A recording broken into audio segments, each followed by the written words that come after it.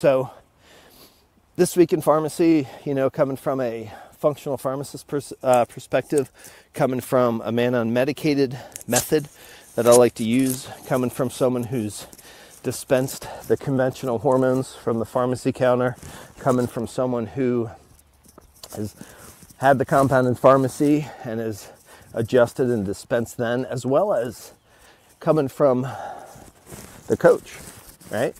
Um, in the practice of how to really help people take their life, their their journey to the next peak that's waiting for them. Um, this is my advice. I really think everyone should be looked at in an individual way. I don't think there's any shame, but I also don't recommend just giving testosterone as a cure all um, as a band aid, as a patch, as the only solution, especially, and we're seeing this in men in their 40s now, much younger. So, why are we seeing low T in earlier ages?